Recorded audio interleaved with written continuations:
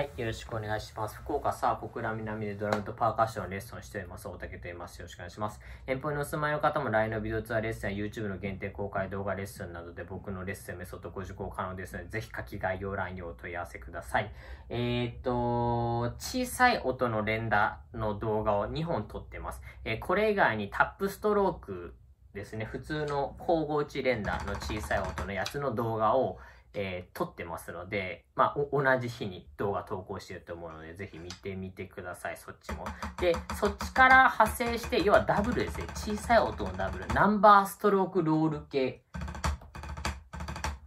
まあ、こういうようなことをするときの音が、でかくなってしまうぞっていう人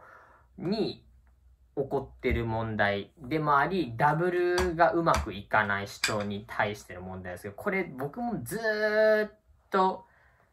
なんでみんなそうなるのかなっていうのを悩んでて、えー、っと、師匠にも聞いたりだとか、いろんな先生聞いたりしたんですけど、なかなかやっぱちょっとこれ難しい問題、解決策が出ないやつなんですが、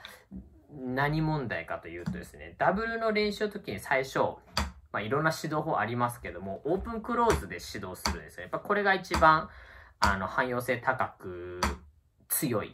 です。えー、で、まあ、他のダブルをいずれするってなった時とかにも、これをやってたおかげでやりやすいわとか、アクセントの切り替えの瞬間とかも使えたりするこのオープンクローズダブルって僕は言ってるんですけど、1回目が腕、2回目が指っていう叩き方はぜひマスターしたいんですが、これの最初の練習で一発で腕で振りますね。で、スティックだけ分離してこう返します。で、この時戻ってこさせない。手首も返さない。スパンとここで止めて、2発目は指のこの握るというか、グリップを戻す動きだけ叩くっていう練習をすると思うんですけど、この練習過程で太ももに当たると、ここのスティックのグリップへの太ももに当たってやりづらいですっていう人がいるんですが、えっと、まず一個言うと、実際の演奏でここまでフルストロークでこうダブルを返すことはない。まだでも最後まで聞いて、なんだ、それかよと思わずちょっと最後まで聞いてほしいですけど、なにこれもともとマーチングの練習ね、こう立ってするんですよね。太ももなんかないんですよね。なんで気にならない練習だったもともとは。というのがまず1点なんだけども、僕たちは座ってるじゃないか。太もも気になる。太ももここにある。分かってます。なのでそこも解決していくんですけど、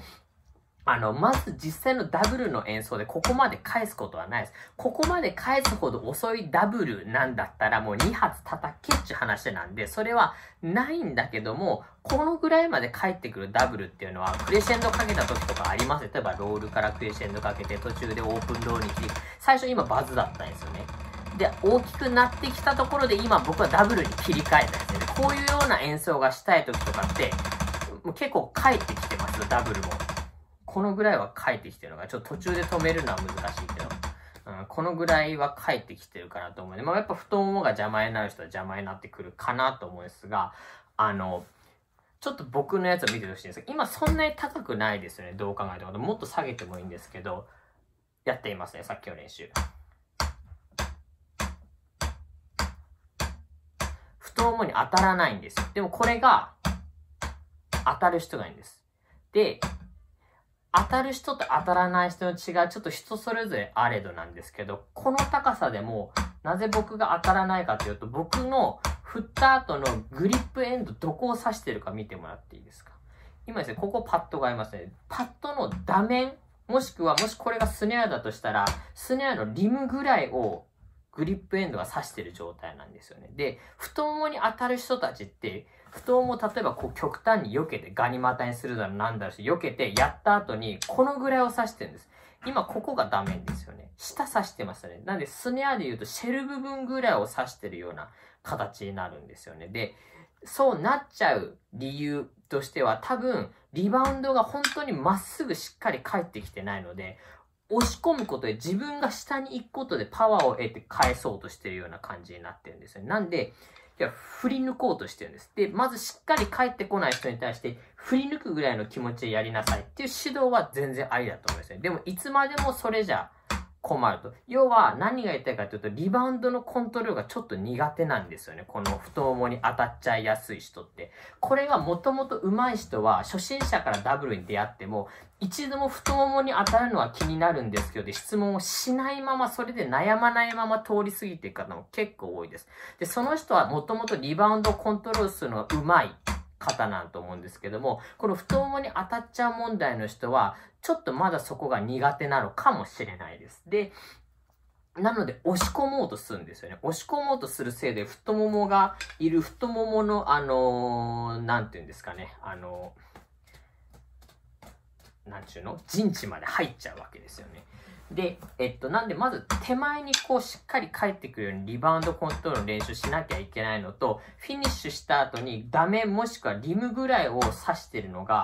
正しい位置なんじゃないかなと思います。こうして、こう、このぐらいですね。これ行き過ぎです。で、こう戻してるんじゃないかなと思うんですよ。2発目の時にちょっと戻してる。今もう行き過ぎてますよね。画面より下をグリップエンドが指してますよね。で、2発目打つ瞬間、はい、戻ってきました。こういう叩き方になってて、わかりますかね？上下した。なってる気がします。でなくて、こうですね。平行な状態です。画面と平行な状態になってます。グリップエンドは、画面を指さし、指自体はまっすぐ向こうを指さしている状態。これが、こういう感じになっている可能性ありますね。もう、えー、ちょっとこれ極端ですけども、スティックのグリップエンドはシェルを指さし、指先がヘッドを指さしてるぐらいのこのような状態。で、このような状態にするせいでまたこの視点からスティックも外れやすいんじゃないかなと言います。で、この人たちも手首がこっちに稼働しなさすぎるのか、こっちに稼働しすぎてるのか、人にもよるかもしれないですけど、曲げてるんでしょうね、おそらく、打った後に。曲げる動作を入れてるんだと思います。によってこういう状態になって、本来ここに太ももがあればもうとっくに当たってますね。こういう状態になってるんじゃないか。で、太ももを下げるが、あ、避けるがあまりこう重心が上がってきて、今度こういう叩き方になってしまって、またリバウンドが返ってこないって悪循環が起きてる感じがするんですよね。なんで、まず形的な目標を言うと、あの、この状態ですね。もう一回言うと、ヘえー、スティックグリップエンドは画面、リムあたり。指先はまっすぐ向こう。平行、腕は平行な状態。すれば、太ももがこんなところにあっても、もうこうしてても当たんないです。これはちょっと当たるな。だって画面より太もものが高いからな。ね。じゃあね。はい、どうも。はい、あげる。いくねっていうちょっと喋れるようになってきてますね。さすがにここまで上げればあれですけど、まあ、ヘッドより低い位置に太ももがあるのであれば当たらないですね。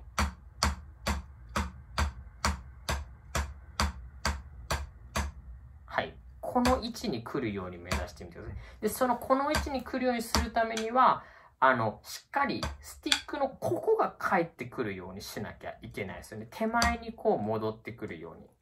スティックはしっかり手前に戻ってくるように。手がついていったりとかしない。で、そのスティックを軽く当てるだけで戻ってこさせるという、この能力非常に大事なんで、これもぜひ試してみてほしいんですけども、まずステップ1って感じで整理している。ステップ1、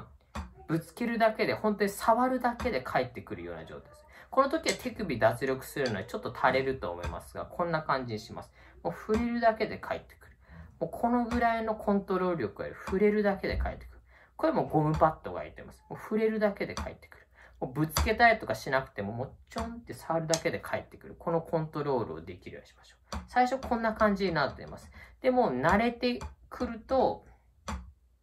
このですね、水かきのとこまで帰ってきてくれると思うので、これをまず練習しましょう。この時点で難しいです、コツが欲しいですっていう方はちょっと別途相談ですね。また考えていきましょう。ちょっとこれをコツコツ練習してで、そうできるようになったら腕をまっすぐ振ってここへ止めるような練習をしてください。で、それの感覚をつかむためには実際に、えっと、ここに肘を置いて、この状態からここへ止める練習をするのがいいです。で、こう、だらーんとした状態はこう。こういう練習を回し、そのままここへ止める練習をします。手首まっすぐのまま。なんで、本当はですね、ここまでダメがあった方がいいですね。ここまであって、こう止めるような練習。ここへ止まるんだよっていうのを、まあ、ちょっと大きい机かなんか意識づけしてあげるのもいいと思います。で、今の2ステップぐらいができるようになってきたら、こっちに行った時に押し込まないように意識しながら、スティックがしっかりテイクバック、こっちに戻ってくるように意識しながら、フィニッシュさせて、スティックがダメの方、指先が前の方向いてるようなフォームになってるかっていうのは結構重要。あここに重要なのでこれができるようにしましょう。ちょっとしどろモードですね 今日。こういう感じになりますね。さあいかがでしょうか。でこの状況が作り上げれるようになると押し込んだ感じのダブルじゃなくなるのであのリバウンドコントロールが上手くなって小さいダブルが上手くなんですよね。っていうのも、あの、ちょっとはっきりこれがあってはまだ言えないんですけども、いろんな人を見てきて思うのが、こうなっちゃう癖が最初の頃にあった人たちは、大体の方がナンバーストロークロールっていう課題になった時にダブルが小さく打てなくて速くならなくて困るんですよね。で、この問題、太ももに当たっちゃう問題が全く起きなかった人たちって、あの、小さいリバウンドコントロールがうまいんですよね。なので、この押し込んでしまってあげるというダブルで無理やりにスピードを上げていった人は、あのまたそこで苦戦する羽目になるのかなと思うので、これちょっと解決しておいた方がいいんじゃないかなと思っております。このフォームに持っていくっていう状態ですね。この状態持っていく。っていうのができるようになったら、まあ、何かまたちょっとオールアメリカンドラマーとかの教本にチェックしてみてほしい例えば98番、ナンバー98、51ページですね。アンティタ、トゥティタ、スティティタ、フォーティタ。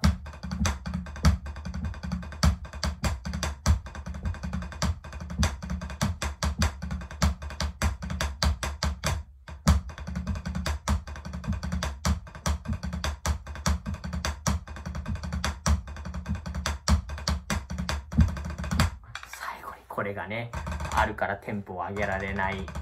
98番だったの忘れてましたけど、もう何でもいいんです。98番じゃなくても何でもいいです。こういうディドルがいっぱい出てくるやつをこうやってもらって、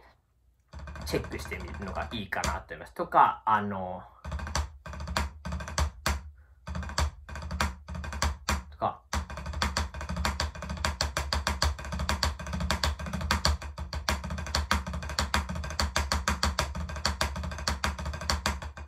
こんな練習でもいいです。何でもいいので、ちょっとディドル、えっ、ー、と、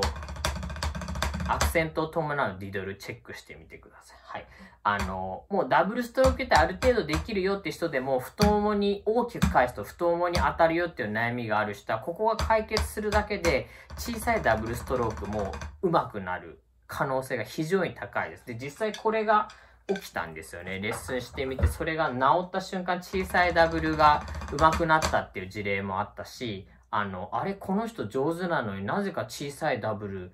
でかいなと思ったら、あの、大きいダブルをしてもらってみると、ここに当たる症状だったりする。まあ、要は、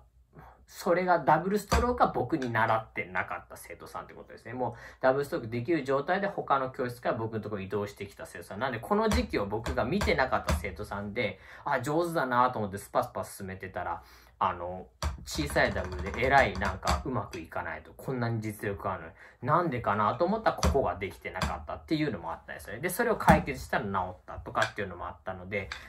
まあ、間違いなく何かしら関係はあるんだと思います。なので、このフォームですね。太ももに当たらないこのフォーム、着地の状態が作れるようになると、一個何か成長するのは間違いないようです。ぜひ試してみてください。で、さっき言ったように、落として上げる。このプッシュプルする感覚のモーションが必要になってくるんですけど、プッシュしすぎないでっていう意味になりますね。ここへ止めてあげればいいわけです。ここへ止めてあげてください。なので、ここまで行ってあげるから太ももに当たるってことですね。はい。なんで、押す、引くのモーションは、それはそれでいいんだけど、押しすぎ、ここまでいかないようにっていうことになります。ちょっとあの、ね、ここまでレベルが上がってくると、いろんな指導があったりとか、いろんな方法論が出てきて、こう頭がごっちゃごっちゃになっていくと思うんですけども、あの、まあ、そういう時こそ僕とか使って、こう、第三の目ですね。第三の、こう、客観的な目で見てもらって、今はここを意識してる。こう意識してみよう。っていうふうに、こう、いろいろ道をたどって良くしていきましょう。あの、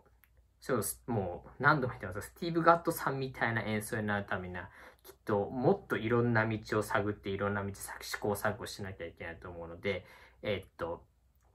ひとまず、できてる人のアドバイスは一回全部聞いてみていいと思います。で、その上でこう取捨選択していかなきゃいけないと思うんですけども、一回全部やってみてっていうのがいいと思います。一番良くないのは、でも、いやー、こうだから、あれかもしれないからって言って、今できないのにできる人の意見をとにかく何も聞かない。